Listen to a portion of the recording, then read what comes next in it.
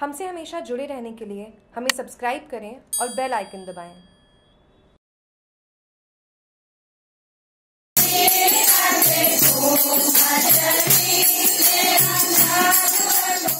दीपावली के बाद में होने वाले अन्नकूट का आज शुक्रवार को आयोजन किया गया जालोर के महालक्ष्मी मंदिर पूरा मोहल्ला स्थित अन्नकूट प्रसाद का आयोजन श्रीमाली ब्राह्मण महिला मंडल द्वारा किया गया महिलाओं ने महालक्ष्मी की विधिवत पूजा अर्चना की।